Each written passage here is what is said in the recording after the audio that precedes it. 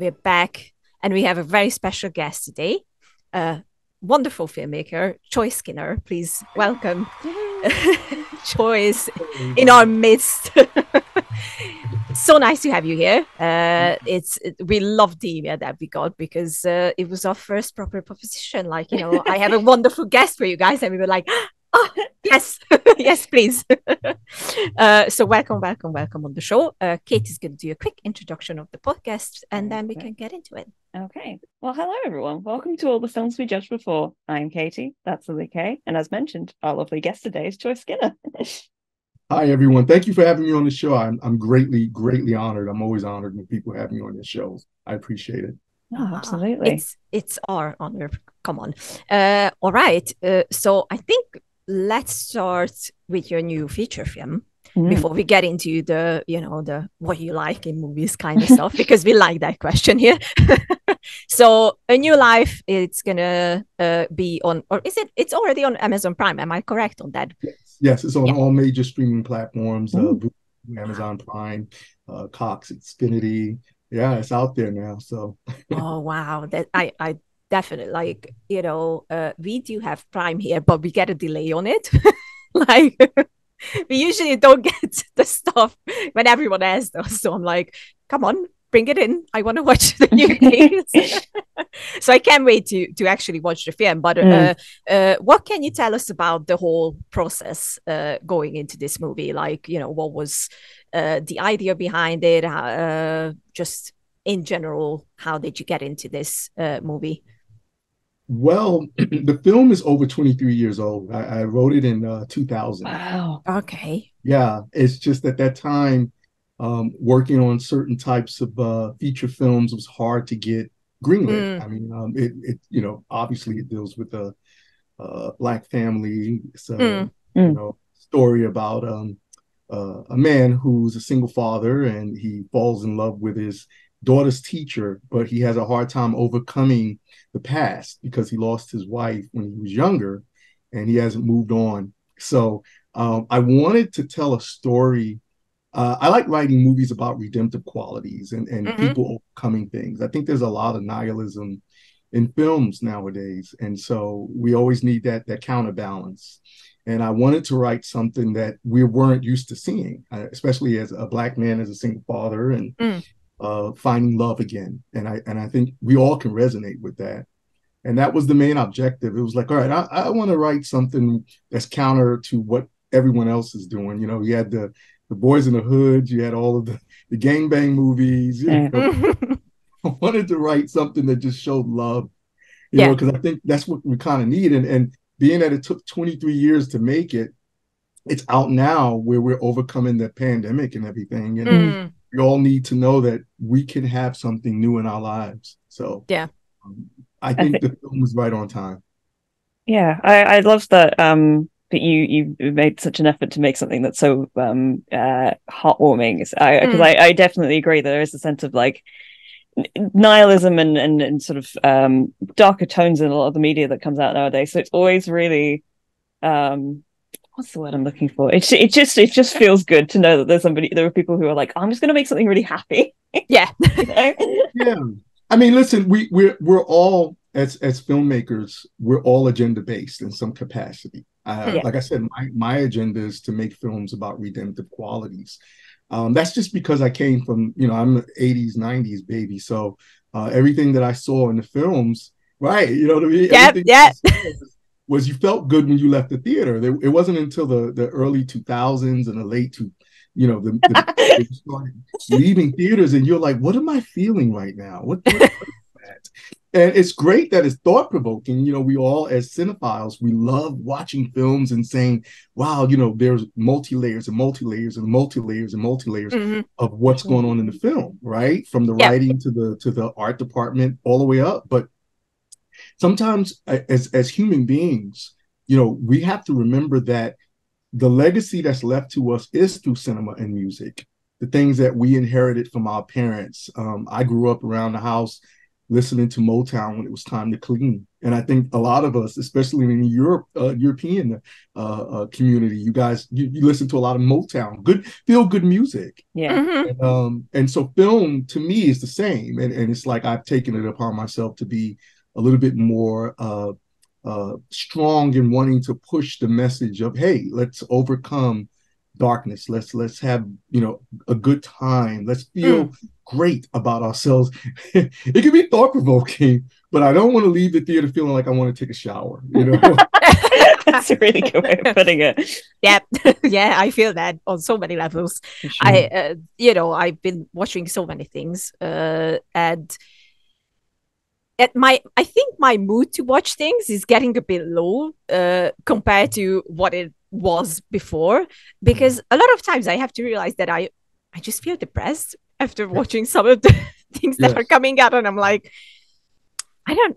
I, I I like the realistic touch on things, and I you know I like when we are not afraid to I don't know kill the hero or whatever.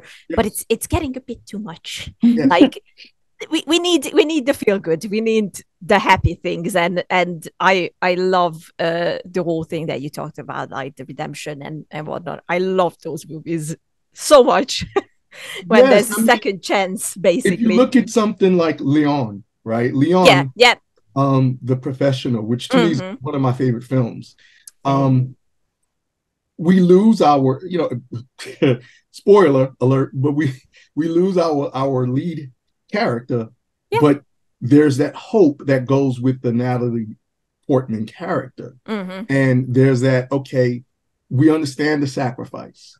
Yeah. we, we get it. You know, um, we understand how people nowadays are saying they want to uh, to um, uh, subvert expectations, but it's become the forefront of what films are all about now. And it's like, okay, I, I get it that you want to subvert my expectations, Mm. but I want to feel good too. Yeah. I think we can get so caught up in the idea of subverting expectations that we forget, like, wh- you know, what is the movie about in the first place, uh, and and like, what what is it that we want to be saying? Because if we, if all we're doing is trying to subvert an expectation, um, y- I, I think half the time uh, when when people try to to do that, it ends up in this place of like, um, the narrative becomes nonsensical as opposed to something that is thematically resonant. Um, I, I was thinking about this a little bit the other day. I was thinking about how um uh theme for me always will trump narrative like logic. Uh, as long as you've got a theme and something it's you know that you're basing your your your story on, like your your narrative doesn't really need to make like you know one to one logical sense, so long as the thematic logic is is is, is as sound as possible. Um, but I, I think you're right that they we kind of there's just such a push towards being like, well, how how different, how shocking can we be? Um, when when I think, yeah, the things that end up being more moving are the ones that um, um, you know, lean into that sort of sense of hope way more. Well, I, I, I tell you this, in, in every project that I've ever created, and every film that I've done, I've, I've done well over uh, 16 different films, short films, feature films, and stuff. Mm. Um, the, the the defining factor has been can people relate?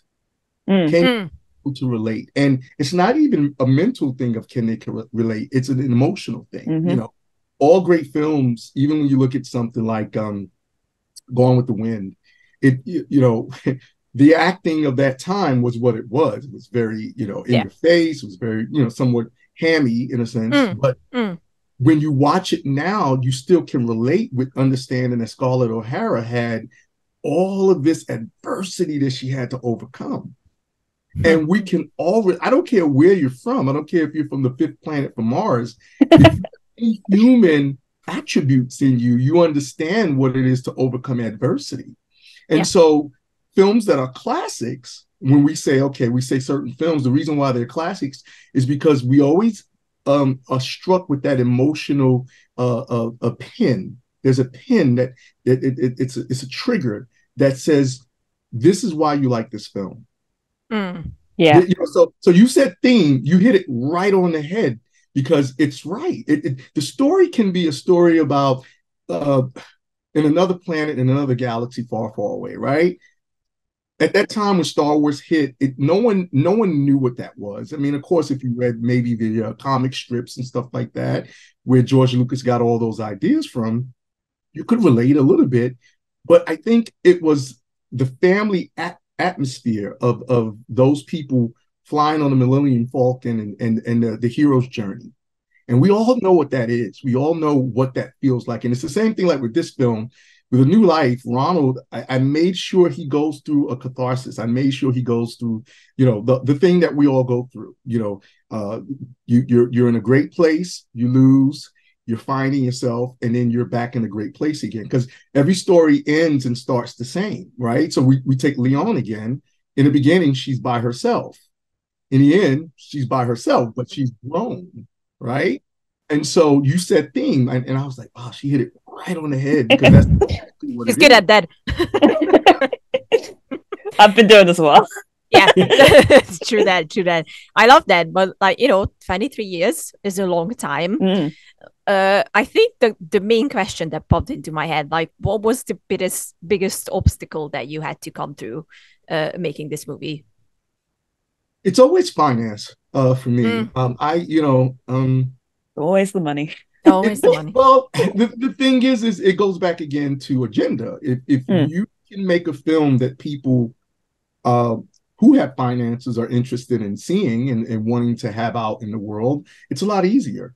Mm. Um, it's very hard now to get films about good feelings and stuff like that out there. Mm-hmm. It really is. I mean, um, and, and, it's primarily because people behind the desk don't think that people want to see that yeah. and they don't know until it's out there mm-hmm. um, and, and, so the finances is always a, a, a, everything i've ever done has been self-financed i mean yeah i may have had some crowdfunding in certain projects that i've worked on usually mm. it's people who are part of the project that we all come out the pocket to make it happen um, the reason why this film was able to happen it's because I literally picked up the camera, I edited it, I shot it, I directed it, I cast it. I, you know, I did what would normally be 20 departments. I did it all on my own. Um, I had great people help, like my manager, who you know, Ross Stevens, Artist Entertainment, and uh, specific private investors who came in with, with you know nominal small funds, but um, the, the the finance is always the issue. Um, mm. the funny thing is, I was talking to someone the other day, and I said, you know, with every film that I've ever done, I had some form of sickness. I had um, either diverticulitis or um, same. so Lily's been yeah. inflicted recently. yep oh, I'm so sorry. You know, and it's always taken like a week or two weeks off of any production that I've done because you know I work so hard, and mm-hmm. those those types of afflictions are stress based, and, and you don't realize it because you're so enamored by the project and you you you adore what you're doing. But um usually for for like with this film to be specific, it was of course the finances, but we shot it during the pandemic. We shot it during COVID, and um, mm. it was at the early part of COVID when there was no um, no um, rules or regulations. No, nothing was around. Nobody was open. We didn't know how we were going to do it. I mean, you could sometimes barely get locations, but we did. Mm. Oh, I, I feel you on that so much. Like, uh, you know, I, I, I always tell this story because I, I think it shows uh, so well how hard the whole pandemic made things for everyone. Uh, I was cast in my first, very first speaking role after dying in everything as an extra. That's my specialty. So if you ever need someone to die in your movie, I'm here. but uh, I was so happy. But it was an independent film. Uh, two guys were writing it, directing it, doing everything basically like uh, you did, and uh, they were like very uh, happy that they could start on it, and uh, you know we were very happy to be a part of it. And then the first email came that you know we have to delay because of this whole thing, and you know hope you guys understand. And we were like, yeah, yeah, yeah, sure, sure, sure, it's fine. And then after like two or three months, the second email came, and they were like, we have to pull out the money from this because otherwise we basically starve and we can we can't do that so yeah it was it, i i felt so bad for them because they wanted to do it so badly but it never came to be unfortunately and, and, well and they were never able to pick it back up and start again that happened to a lot of projects yeah during uh, the pandemic um I, I was determined that that wasn't going to happen with mine. Mm. We shot it in 16 days. I mean, minus the two weeks that Damn. I had to but we shot it. We just, we just, I mean, there were no no protocols at that time. There was no yeah. shot, there was no protocol, there was nothing mm. that existed. We didn't really know a lot about COVID, yeah. but yeah. my actors, because I would say 98% of the people in the film were actors that studied with me. I had a, a very successful acting studio in uh, Los Angeles. Mm. And my actors have always been brave. So they all stepped up and, and they just, they, they were like, look, we don't care. We're, you know, we, we wore masks when we could because Obvious, yeah. that's what was the protocol at that mm. time. But, you know, SAG didn't have protocols and there weren't any, um, I, I, honestly, if I didn't pick up the camera, it wouldn't have gotten done. Yeah. Yeah. Yep. So I'm sorry to hear that because, you know, I, yeah. I, I've heard so many productions get shut down and, not even get off the ground. And and I'm pretty sure it was probably a great great scenario for you. And mm. then the whole thing was like you know just I I loved everything about it. It was such a good idea. And since they were independent and doing it from their own pocket, basically, it just died along the way, unfortunately. And I I felt really bad for them. I haven't heard from them in a while, but I'm hoping that they, you know, they doing what they like. That's that's my hope for them fingers crossed. Uh so yeah that's but the fact that you were able to do this movie uh during the pandemic uh is is just great. Like you know i i always love to hear that uh, uh people were able to do especially like you know we can consider your film independent then. Yes. yeah. Yes. Yeah. Well, probably because it was independent, it was easier. Because yeah, anytime you're dealing with studios and, and you're dealing with people who are uh, in charge, um, mm. you know, specific things will shut down or, or, get in the way of the project. Um, I make my days very effortlessly because, you know, I, I think the greatest gift for anyone that's involved in filmmaking is being on the set. That is, mm-hmm. that is the greatest gift. So I true. Mean, you get to have a camera in your face, or you get to meet people who are great at what they do. The collaborative process, mm-hmm. um, working on something that's going to affect people. I'm very big on things have to affect people, and they got to be able to relate. It's not for everyone, but for those who watch it and those who experience it, they take something from it. You know? Yeah. Oh, that's so true. I love that. I, I always said that, you know, as long as I can be on a set, I don't care what I have to do. right, right. I'm yeah. just happy. I'm like, yay, I'm here. So you know, it's it's just great. Uh, so the question comes in mind, like, how did it end up on Amazon Prime? Did you have to do that whole campaign uh, yourself to get picked up? Well, no. Um, I'm going through Buffalo Eight. They're the distribution company that is handling that. Uh, they got us on all the major platforms, and um, you know, it, it took a year for me to find a company that I was comfortable with because there's a lot of different distribution platforms out there. I, I just was drawn to Buffalo 8. Um, they handled a lot of the uh, getting it on the platforms and stuff. And so Amazon Prime, um, at one point, they used to work independently with the filmmakers. They don't do it anymore. Um, you have to go through an aggregator or third party um, to make that happen. And um, I was fortunate. I was fortunate uh, because there is a change right now that's going on in the uh, independent world. Um, and primarily, you know why? It's because there's a lot of bad material out there.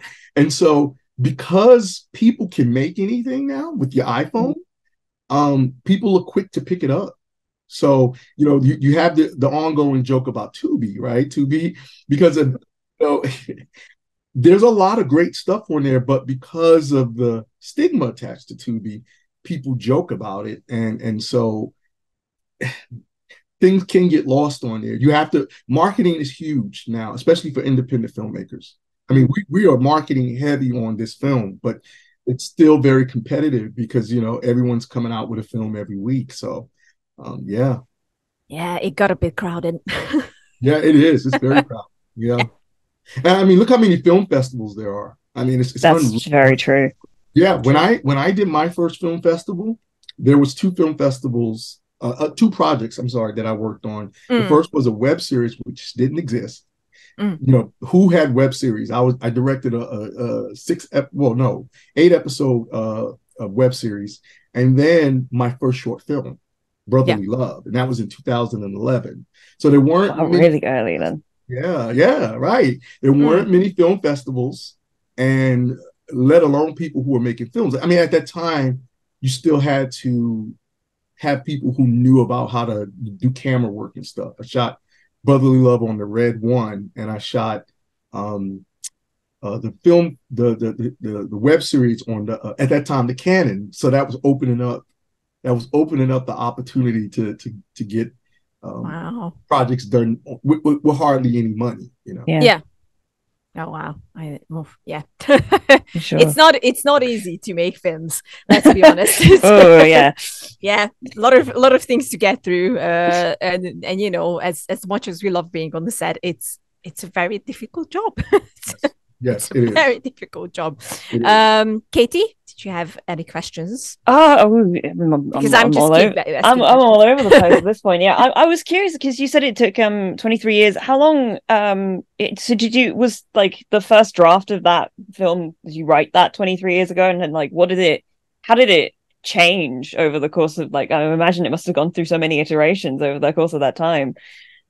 Yeah, it did, Katie. Um, when I first wrote it, I wrote the first draft in about two weeks to a month. The first draft, mm. I, I, knew exactly what I wanted. I think it sucked. I think it was horrible. um, I think it was very bland and vanilla, and I just needed to get it out. Um, throughout time, I would say that period of the year, I did several other drafts because there were things that I, I would realize, especially words. You know, we as writers sometimes how we hear is not always what we put down. Right. Mm. Um, because and you shouldn't because it's true. Learn, yeah, you have to learn voices. You know, I mean, I, I tend to write a lot of ensemble pieces, so uh, I, I, had to learn that art. I had to learn that art of being able to speak in different voices. Um, and so that was a lot of what happened with the, the, the main drafts. Um, once I realized that you know I couldn't get it off the ground because at that time it would it would have took at least 1.5 maybe two million just to make it. Um, you know, I put it aside, and every now and then I read it to see like, what, why did I write this? you know, I, and, I know that one. yeah, right. You know what I mean? Yeah. And, and and and I I originally I wrote it hoping that Morris Chestnut I could find him and mm-hmm. put him in it, and um, but I never bumped into him until like maybe 15 years later, and at that time he had aged out the role. But um, when I when I pulled it back out um, in 2020, and I said, well, 2019 actually, because um, I had an actor, the lead actor, Chris Rouse. I saw that he could do it, and I said, man, you know, we can make this film. And so I had to go back and, and polish it um, and make it more updated because there were things um, uh, where the, the, one of the characters was at a video store. That's how old it was. video store. I was like, oh my god. So then I changed the video store to a kiosk, and then you know I added a little, you know, some some love making, some sex stuff in there for you know the updated audience. Um, but it, it was very bland. It was very to the point, and you know it had its dramatic moments. But um, I grew as a, a film director and uh, as an acting coach. I understood. Okay, I can stretch my actors more. So yeah, that that was how it, it became better, in my opinion. No, for sure. I um I I wrote um uh, I went to film school. Uh, my final project was um I wrote a feature script, and uh, it's been sitting there waiting for me to do something with it. It needs like massive editing, but it, it it always um every time I go to look at it, I think it overwhelms me too much. Um, it's been about five years since I graduated. I'm like, I don't think I'm ready to to make you into what you're, you're supposed to be yet. But it's but really good. I read it, so I can say you. those scripts will haunt you because the, the thing is, is that you'll be shocked. Like like I said, when I tell people this film is 23 years old, it's my second feature that I wrote by myself. Mm. But I wrote another feature with another friend.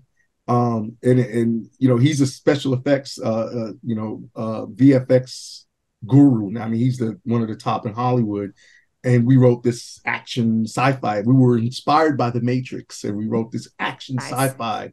And I know if I ever got the budget, it would be an amazing film. But mm. you know, when you you're looking at it, I could say, Katie, you're, you're, saying to yourself, like, I'm not ready to do this yet because I want it to be right. Mm. yeah, you know? it, it it was. Um, I wrote it um in a quite a short period of time because uh, I, I had the whole thing kind of very vaguely in my head for a long time and it took a while to like it was finding the the bits in between that I found particularly difficult. It was like I had like moments that I I knew exactly what I wanted them to look like, but I had real trouble like stitching them together. And I'm still not sure if I think I like a lot of the way that I had to like stitch them. But um yeah, it's just um it came from a place that was, you know, quite personal. So every time I I, I it, it's one of those things where sometimes you come up with an idea, but you're it's like you haven't lived enough life in order to like make it into the thing you want it to be yet. Um, and I think that that might be the case with it sometimes, but I honestly don't know. It, it just um, well, have you had any anyone read it? Have you had any? Um... I've I've Lily's read it. I've read I it. Read um, it. Uh, I've yeah, it was it was read by all my tutors. Like I got a lot of really great notes on it and everything. It's just one of those things where um I'm obviously always going to be my worst my worst critic, um, and I I I, uh, I haven't. I would love to find somebody um, that is you know particularly um, what's the word I'm looking for um, has a lot of experience in like you know script editing and something like that, just to give me like really specific like points and things being like I, I, need somebody to go over it with like a red pen and tell me all the things that can be cut from it basically. Because that's the thing i think that i get um overwhelmed thinking about it's about it's about 120 pages. It doesn't need to be that long you know? Um, it's really good. I really enjoyed it. Like it's it, it was one of those scripts where i was like oh, I like this. I had to say, oh, oh, oh, it, it makes me feel stuff. I think that's like yeah, very important with every script. Both Lily and my mother cried whilst reading it. So I did, I yeah. Always take that one as a win. Well, yeah. then we understand what it is. It's it's it's because it's personal. Yeah. Um, mm-hmm. It's the fear of success. But you know, it's I'll tell you this, and one of the things I always tell people as far as being a filmmaker, one of the greatest experiences I ever had was I was in the theater for um the Will Smith film uh, Pursuit of Happiness. Mm-hmm, oh yeah. I, I, was in a I was in a, a area where um, it was a very strong uh, social dynamic of you know Latin people. It, it, wasn't the the movie theater that I would normally go to in mm-hmm. my area. It was okay. Let me go here. That's where it's playing. Blah blah blah. Right. And at the end of that film, when I got up and the lights came on, there was a, a Latino family crying on the stairs. One of the girls, they're holding her up. She's bawling um, from that last five minutes of that film. And it taught me a very valuable lesson. You know, we always talk about how film, I'm sorry, I'm getting misty eyed because I'm remembering it. Um, how film um, transcends social status, it transcends um, culture. Mm-hmm. And um and and and I never forgot that and and that was something that I said I want that I want that I want that effect I want to be able to make sure that I'm touching people like that. Mm. Um, never I never forget that. Yeah, it was the yeah. happiness. I mean, I felt my feelings, but then to look over to the left and to see, I mean, there was maybe about four of them, and the three of them are holding this girl up. She's bawling on the stairs, like, like I I never saw anything like that before. I mean, I've yeah. been in movie theaters where, you know, we have our our moments, right? There's, mm. there's certain moments that we all have. The, the the in Karate Kid when Mr. Miyagi looks at Daniel-san and does that head shake and those those taiko drums are going, right? and or or or um you complete me and Jerry. Maguire, right? You complete me. Yeah. Right. Or even Rosebud. You're like, okay, wow, what is Rosebud. you know, um, Psycho. Those yep. moments where you're you're you're like, yep, yeah, hundred percent, hundred percent. Yeah, how, how you feel after after you know that moment in the shower.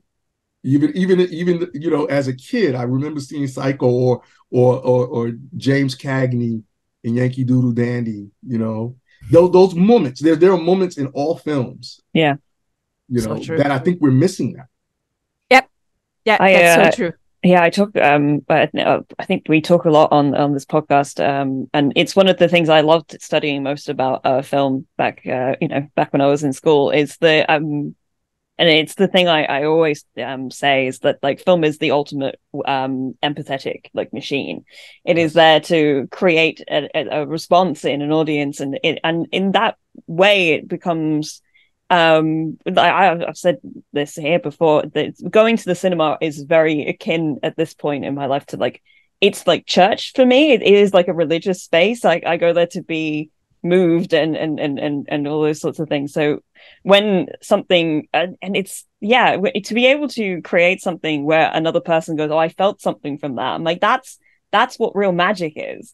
Um uh in in like you know in our real world that's how, that's how you create magic and the people who can like put that sort of thing together and, and move like countless audiences who all come from different places mm. um yeah that's that's that's the goal always yeah oh every time my my greatest experience i had two uh one of them always uh, tell this story again is a quiet place where here in hungary it's difficult to go and watch a horror movie in the cinema because people will be talking because that's how they mask their you know fear and whatever. And it's very annoying. I hate it. But i was like i want to see the quiet place so i will go and watch it.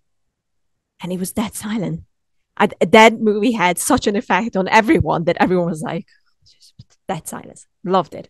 The other one was in london uh, and uh, we watched uh, with a full house. And this was not a film festival, uh, anything. We watched Twelve Years a Slave, and um, at the end of the movie, uh, the first thing you heard was sobs from every place, and then literally everyone stood up and we we just clapped for like I don't know five minutes or so. Everyone, like you know, there were so many different people there, but everyone just simultaneously decided to stand up and just and just you know clap for the empty screen at that point. And it was like i think it was one of the best experiences i ever had in a movie theater to be honest. I was like yeah yeah because again it's the journey that the characters take us on. It goes back to what you said about theme. The mm. theme it's you know the two books that i learned most about screenwriting of course save the cat when that when that hit the market, it changed things because it, it, was a very simplistic way of looking at how to write. Mm. But mm. before that, there's a, a, book by Mr. McKee called um, Mac, McKee called Story, and yes. Story talks a lot about theme. Mm. It's yep. an amazing book. And when people always ask my opinion, they say, you know, I need to learn how to write. I said, there's a lot. I said, read every book you can read. I mean, at the time when I learned screenwriting, there wasn't these programs that we mm-hmm. have. Mm-hmm. So much information. We're in the data information. We're in the, the age of, of information. YouTube University, there's something you went to school. We all have different mentors and people and panels. And but at my time, it was just books you had to read. And I read the books to learn about specific things. And you know, one of the, like I said, one of my things was I was really bad at, at the voices because I hear everyone the same in a way, but I, I kind of inflect people in a way based on the emotion, the emotional inflection. So um, when I read story, story helped me understand the theme. It helped me understand the story and and and what is it that you have. So I can understand that relation with 12 years a slave, that all that he went through, and you want him to be just go home. You want him to go home because it was established, you know, like this man had a home and anybody can relate with that. You're like, oh, what would happen if I'm misplaced? So this, you know, is it the hero's journey or is it this person fish out of water? You know, fish out of water. Even a dog will nozzle water on a fish. You know, you've seen that online where they're pushing. You know, the dog knows that the fish belongs in water. yeah, yeah, exactly. Oh, I love this conversation. Gotta say that quickly. it's so great. Uh, so we, we we can ask our favorite questions. I think. Sure. Uh, I I I will jump into it. But uh, what is your comfort movie? The movie that you can just pick out anytime and just watch it and feel at home or feel just you know at peace and just the word is great.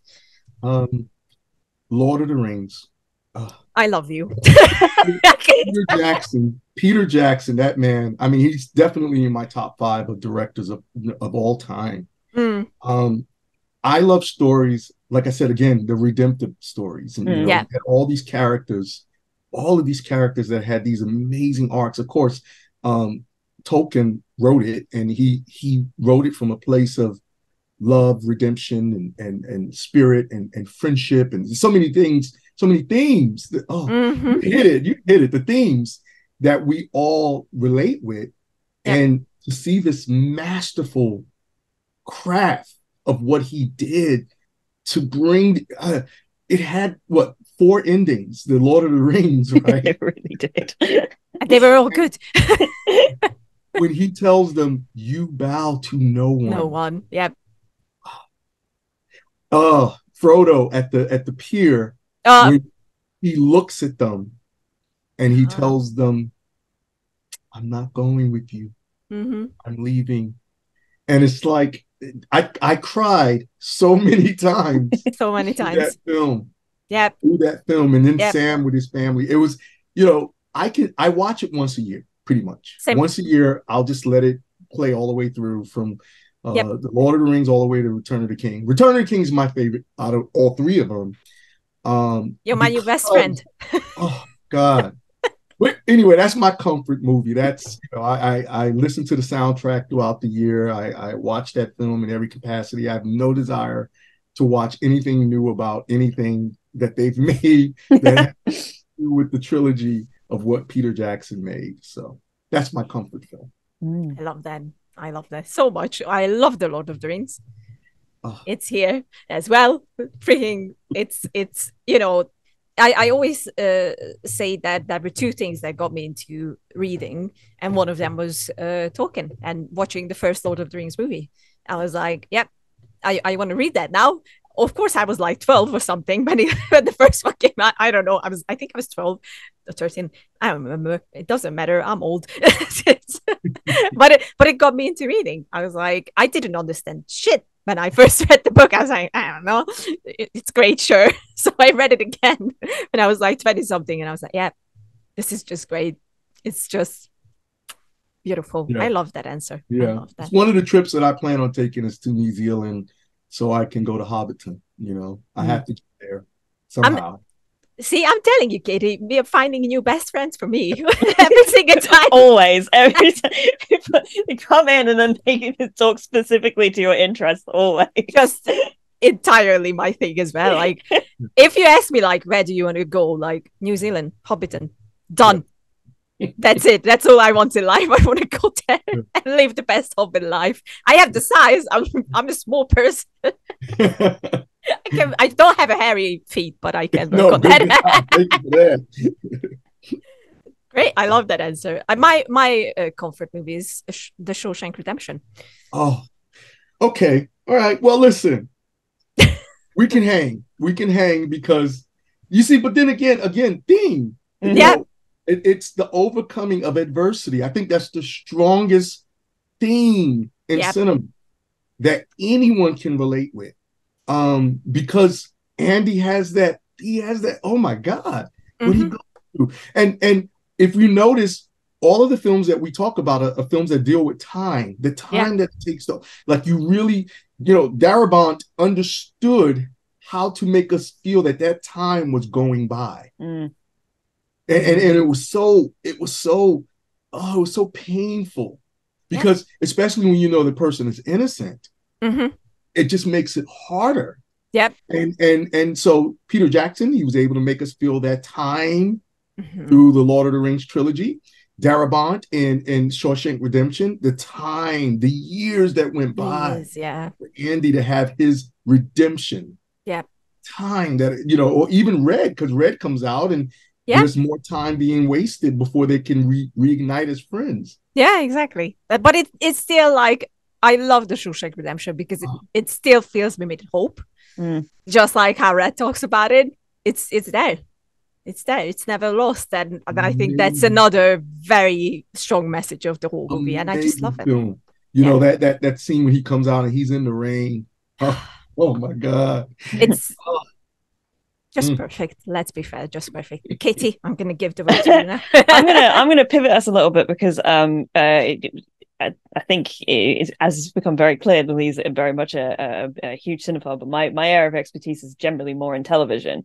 Um, I it's the thing I kind of grew up with, so I'm curious if there was like if there's anything that you've been watching particularly recently that you're into, or if if, if television is even like one of your your interests, or um if if it's just what, what do you like really in that kind of a space? I'm curious. Yeah.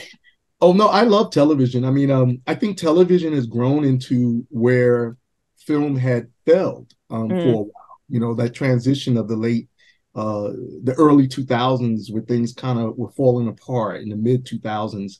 Um, television came in and filled a gap.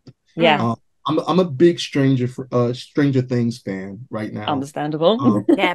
Yeah. yeah. I love. I, I mean, you have um, you have uh the um, the poster in the background of um, yeah. I I I like it to an extent. I like it to an extent. Um, Yeah. because the thing is, is I love movies and TV shows where relationship is very important. Mhm. Important where they where they push that understanding. Maybe that's why I hung in there with uh Walking Dead as long as I could because it was like I know that it- feeling. Yeah.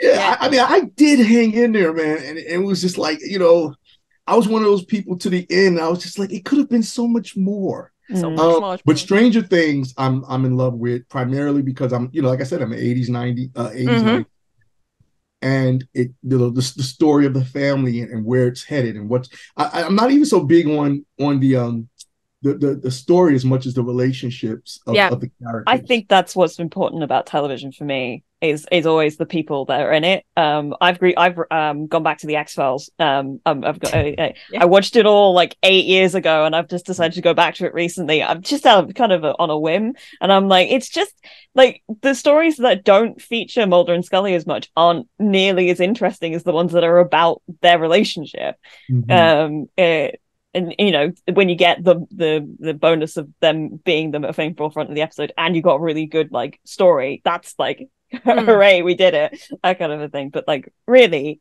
you can kind of get through any episode that doesn't feel like that particularly interesting story wise because the, your your main characters are people that you care about and that's that's my my big draw with television is you spend so much time learning about who these people are that they become quite close Yeah, because see, I'm seeing that in Lioness. I've been watching uh some of the Lioness uh the, the episodes. Mhm. spec ops thing yeah Yeah, and um with uh, Zo- uh Zaldana, Zoe Mm. Zaldana, and Nicole Kidman, yeah and um I'm seeing that that's what I'm drawn to in the show Mhm. because I'm like, okay, there's not a lot of action in it, and you know, of course, it's got you know intrigue and it's dealing with you know the the the military stuff, Mhm. but it's really about what she goes through in life yeah they have this dynamic with her and her family that I'm kind of drawn to. And I found myself because I wasn't sure. I was like, I don't know about this. I mean, you know, um, I I I, I watched From the first season of From, and I Again, you're you're just hitting all of the things. Yeah, all of the things. yeah. So with From, I was like, okay, I want to see where this heads. I want to see where it goes because you know I I didn't want it to be another Lost. That's what I'm concerned with because I've Mhm. invested so much time in Lost, and then at the end, eh, you know. but um, from I'm like, okay, I I I, I kind of was first season, okay, let's see what happens. Second season, oh, they were pulling it and pulling it. And then that last episode, I'm like, whoa, wait a minute, what's going on? Yep, yep. I love From so much. I I literally just wrote an article about why you should watch From because Yeah. it's so great. And I had that feeling as well because we talked about it with my brother. Like Mhm. you know, maybe it's going to be another lost situation because they they uh, came up with the whole thing. What if we are dead? Blah blah blah. And I was like, hey, please don't go there. Like you know, just um, you already had that. It's fine. Uh, But I, I I think especially with that uh, season finale, I, I I think they were like, don't worry, guys, we got this. Yeah. We got this. realize it's not what you thought it was. So so that threw me for a loop. So I'm like, okay, I'm I'm still on the train. I, I had one foot off and I had my ticket to, to get off and go to another train, but I'm like, okay, let's see what that is. But um back to Lioness. Lioness, I think the it, it's again, they're subverting expectations Mm. because it's Mm. like, all right, well, wait a minute. This whole episode was about her and her daughter and what's going on with her daughter. And it really had much to do about the mission. So I want to see where that's headed because it's, it's very interesting.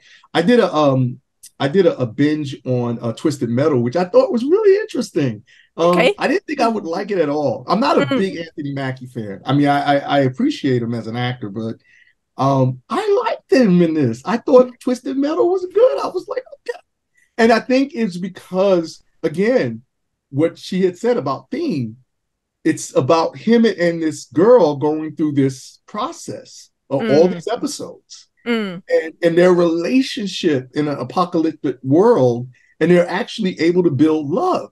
Mm. So I mean, it's it's it's a really over the top show, Twisted Metal.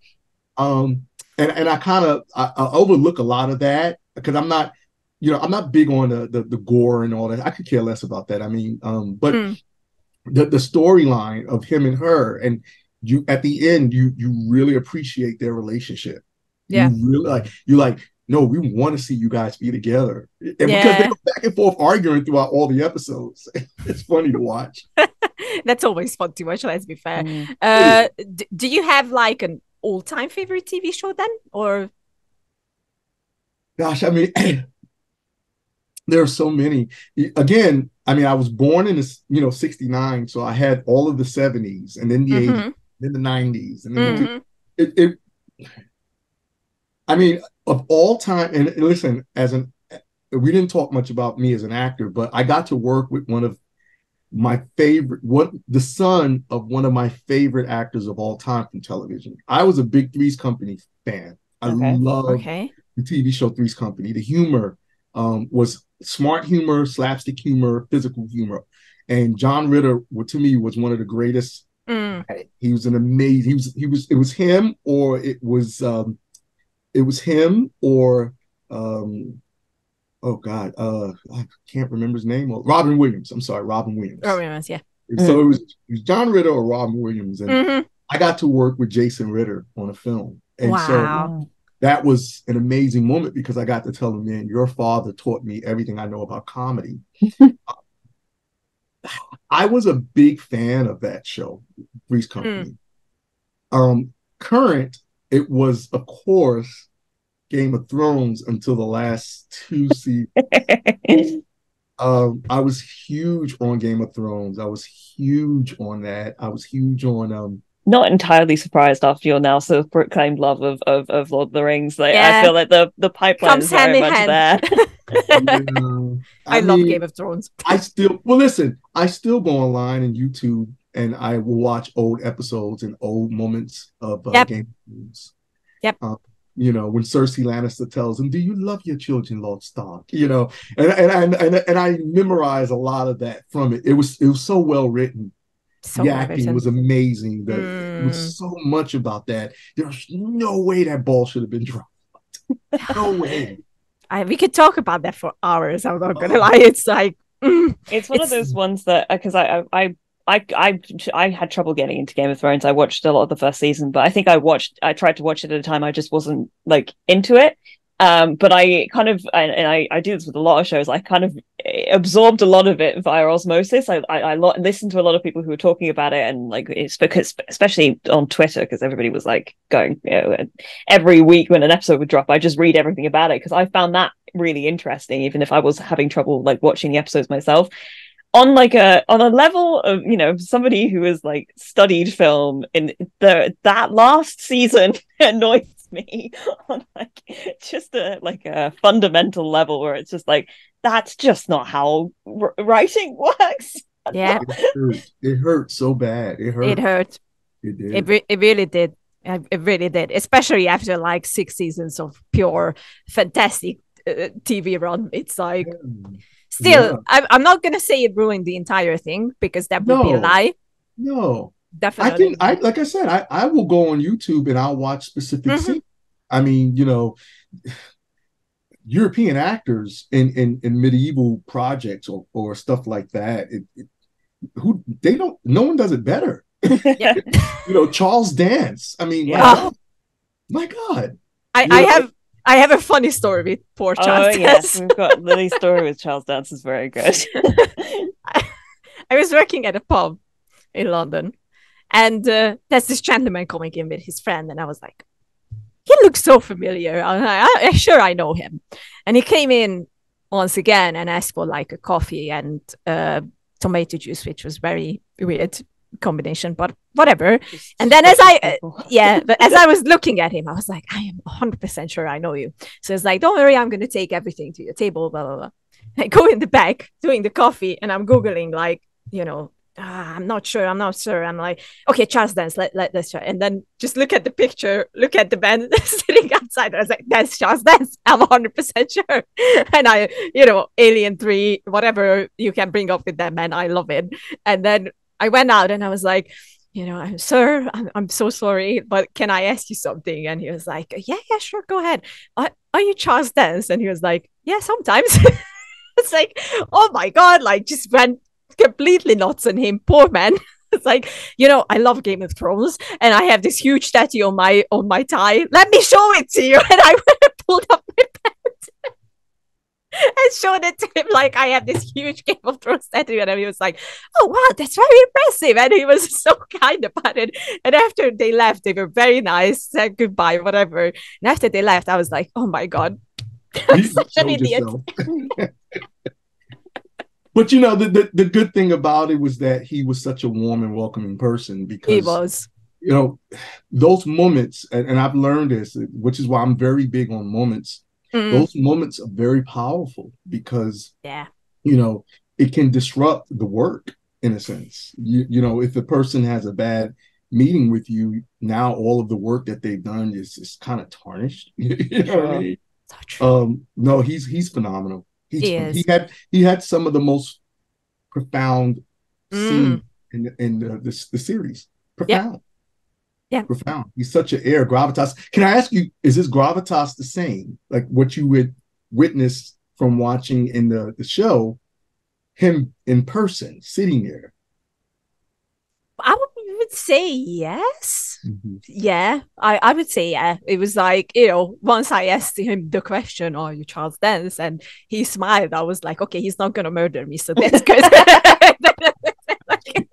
but he's, he's a very kind man, like so kind. Uh, honestly, he could have just said, like, you know, just leave me alone right after i after i realized who he was but he was just he was just the best honestly and uh, you know i i always I, I take that saying into heart to just never meet your heroes.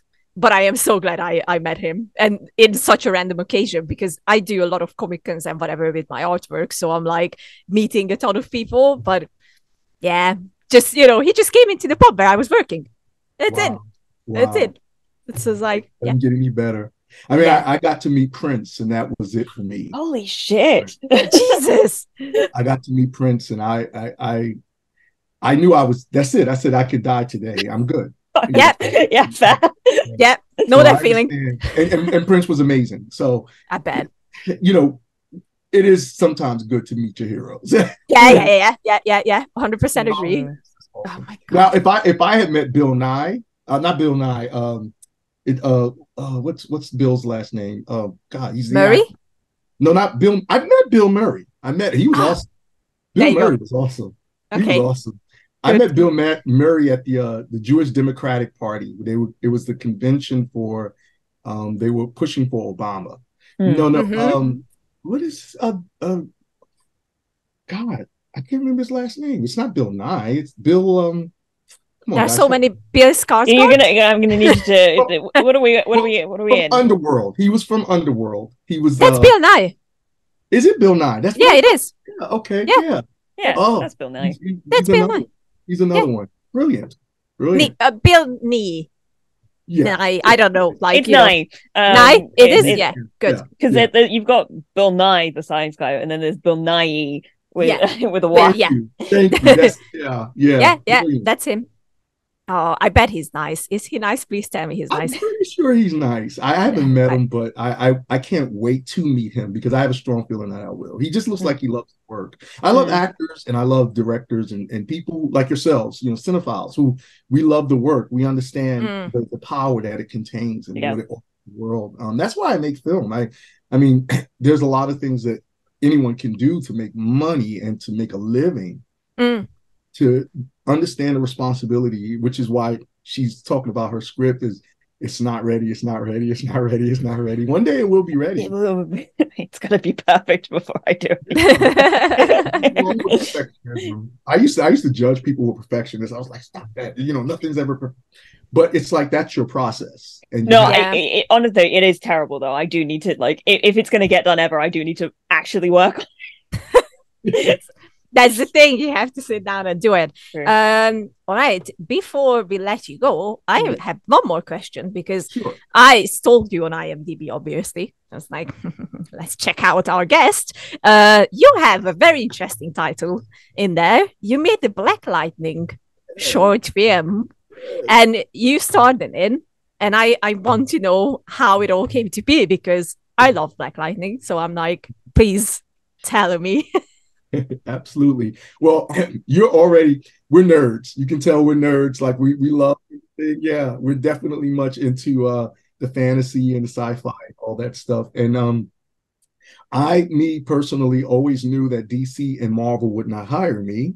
Um there's they're not going to search me out to say, "Hey, we want you to play this character." And I've Mm. always been big on proactivity. I've always Mhm. been big on creating my content and Mhm. not waiting. I've been, you know, I, as much as I'm a director, I'm an actor as well. I don't have a problem Yeah. talking about that. But um, for all the years of my work, um, it, I, I always wanted to find a way to put my martial arts experience together with the knowledge of what I gained as a stunt person Yeah. and also as a director. Yeah. And so I was coming off of a film that I'm still working on, you know, Mhm. time that um I needed some money to finish the film. It, it just wasn't there. And I said, well, what can I make to to bring some attention to open up some doors and to uh, at the same time uh, fulfill my artistic expression. Mhm. And um, I said, man, everybody's making these fan films. They're making all of these little short films about superheroes. Who can I do? And I and I hit up James M. Black. He's a very good friend of mine. He's a men, mentee of mine, someone who learned a lot from me and has gone on to do amazing things. And um, I said, we should we should do a superhero film. And he said, okay, great. What are we going to do? And I went and did some research. And I said, oh man, you know, no one's touched Black Lightning. No one's even mentioned him. And so um, I remember as a kid reading his comics. And so I was Mhm. like, well, I'm gonna we're gonna do Black Lightning. And I told him, and I want you to do static. I want you to play static in this. And he was like just blown away. And so he wrote it, and then I went and co-wrote it with him. And we uh got all the actors in my studio again. And I said, listen, I'm offering you guys a part. You have to handle your wardrobe.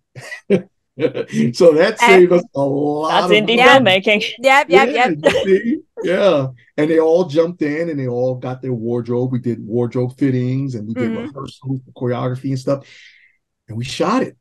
We shot the short and then VFX. Mhm. And that was like, oh my God. So mind you, we had went into production four years prior to the Black Lightning TV TV show. Yeah. Yeah. Yeah. So two Ahead of the years curve.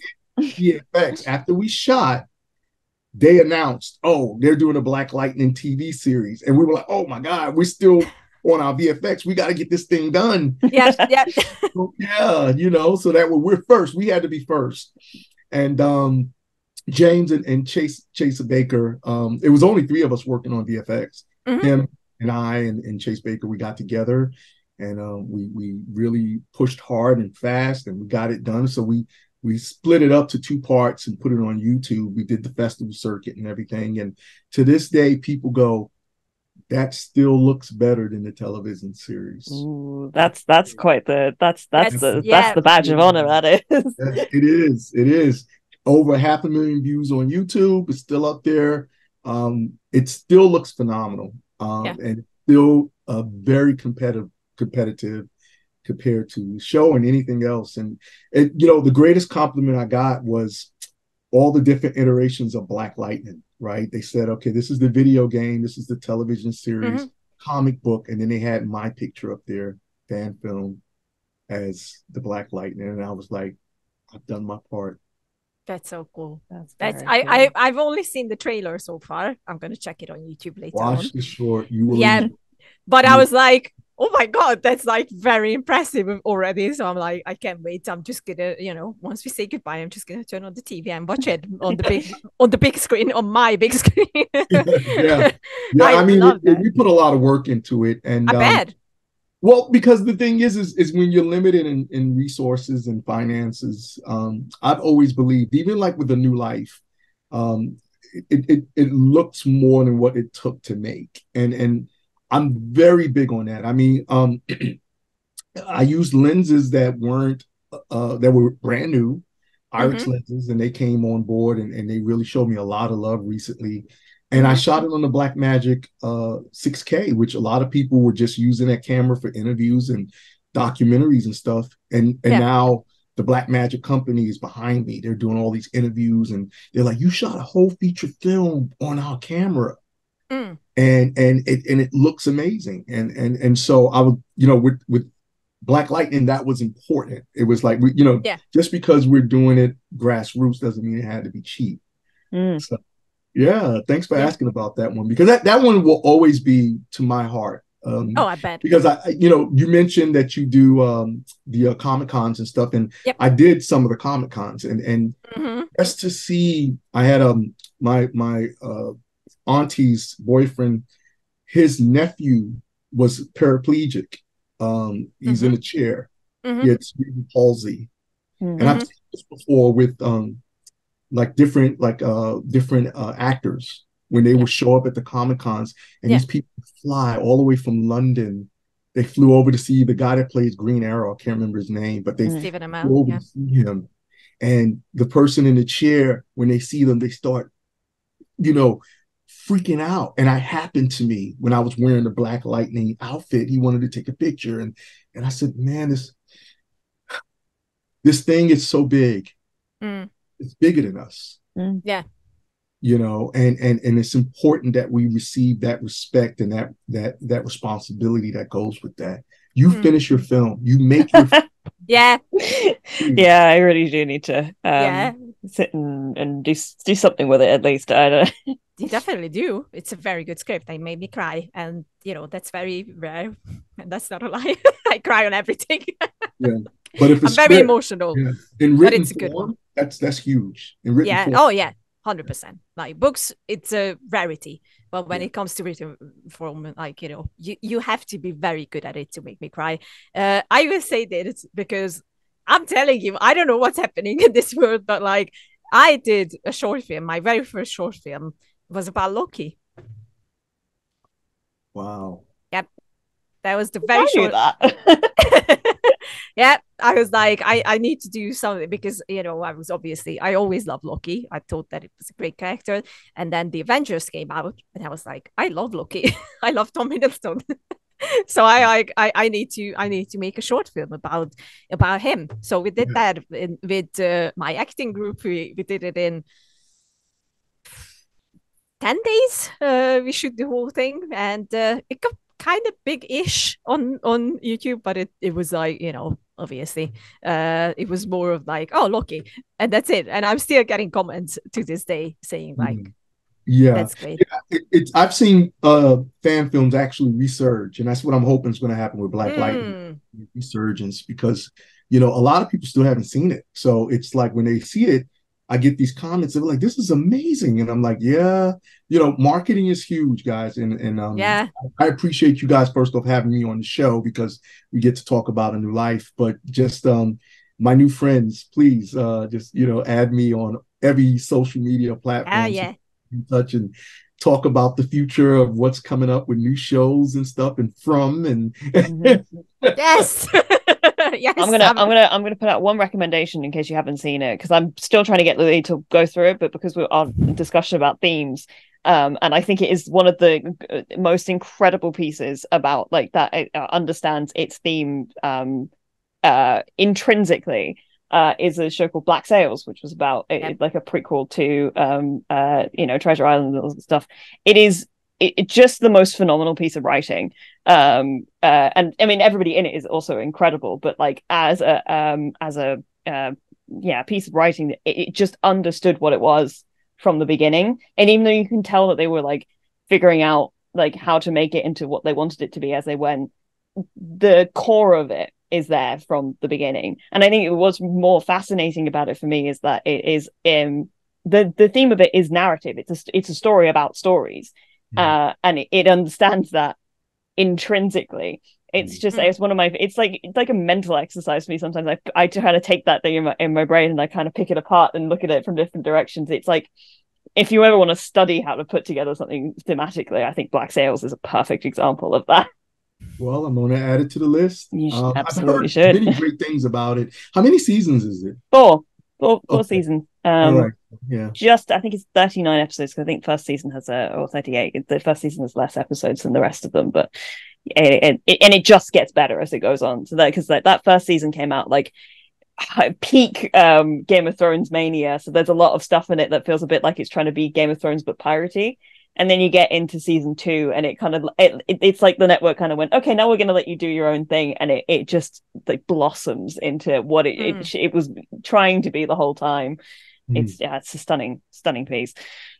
I'm getting is it to it, over promise. or is it uh is it uh, is it still uh more episodes? Uh, no, it, it so I think it, it went from tw- I think 2014 to like 2017 or something to that Mm-hmm. effect. It's it was around that sort of um time period anyway. And Um, it ended so on a great note. it ended on the perfect note. It Perfect. ended exactly Okay. when they wanted it to. They they finished it in the way that they they they, they wanted it to, and it's just. Yeah, I mean, it's it's, it's Toby Stephens being um, utterly incredible. Really, I mean, he's always great. Let's be fair. it's true. uh, all right. Uh, so, uh, a new life from Choice Skinner. It's already available on Amazon Prime uh, Mhm. and all the major platforms. So please go and check it out. Uh, and you know, just tell us in the comments uh, what you thought, and we're just gonna push it towards Choice so he can read it as well. uh, and Choice, thank you so much uh, for coming on the show, and let's keep in contact because you're doing some amazing stuff, and we want to hear about you more uh, in the you. future as well. Uh, so thank you for Thank joining you. us Thank today. Where can the people find you on the internet? Yes, please tell us. Absolutely. Uh, in regards to A New Life, the film on um, Facebook and Instagram, uh, TikTok, you can find A New Life Film. So at A New Life Film, pretty much all one word on those platforms. You can find me on Instagram at D A R K A N 2000, Darkan 2000, and on Facebook, uh, Choice J Skinner. Just my middle name is in there. Uh, I'm also on Twitter as D A R K A N E N T. So um, those are the platforms you can find me on. If you're interested in any of my work, you can go to www.darkanent.com, darkanent.com. So you can find me there, all the work that I've done. And I'm on YouTube too, Darkan Entertainment on YouTube. So you can see Black Lightning and uh, Brotherly Love and all my old short films and uh, anything else that you want to see that I'm putting up every now and then. So appreciate that. We- We're going to put all the links in, In the description. description, they will be in the Uh. Yes, and please follow Choice and uh, his wonderful uh, filmmaking path because uh, you know we need to support independent uh, filmmakers. Yes. Now more than ever. Yeah. so thank you again, Choice, and uh, we're going to welcome you back hopefully soon. Okay. Thank you guys. Thank you so much. Thank Have a good you. one. You All right. too. Bye. Watch movies. very, very important.